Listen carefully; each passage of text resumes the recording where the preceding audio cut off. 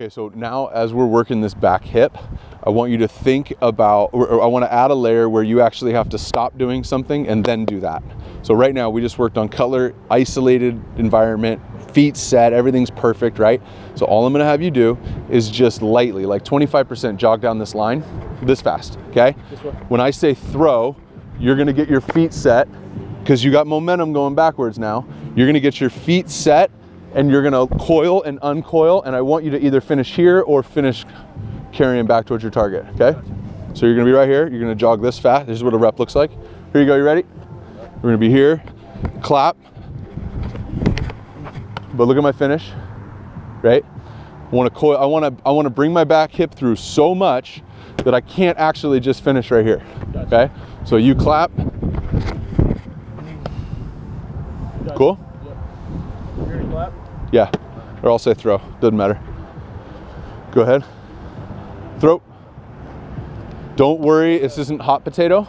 Like, Yeah. right? This is get your feet set, get back to here. Yeah. But as soon as that back foot hits, the sequence is right when my back foot hits to throw, my hands come apart, and when what happens next? No, before that, Step.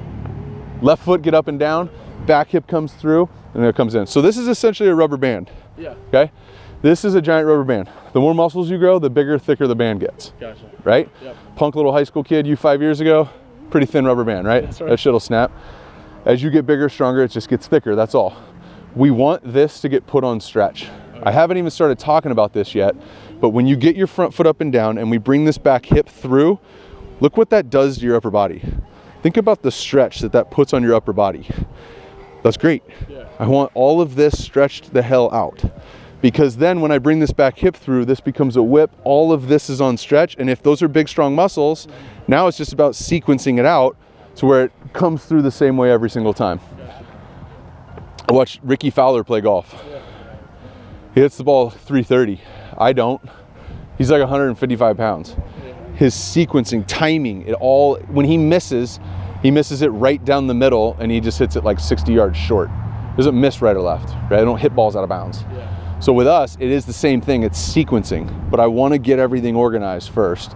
But then we get to the point where we just put that on stretch. So you're just going to jog, get your feet set here. But as soon as this, you get that last step down, my foot hits, my hands come apart, short front stride, bringing the back hip through.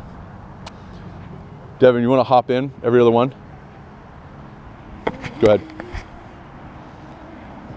Throw. How tall were you? I was short. Five, what, seven?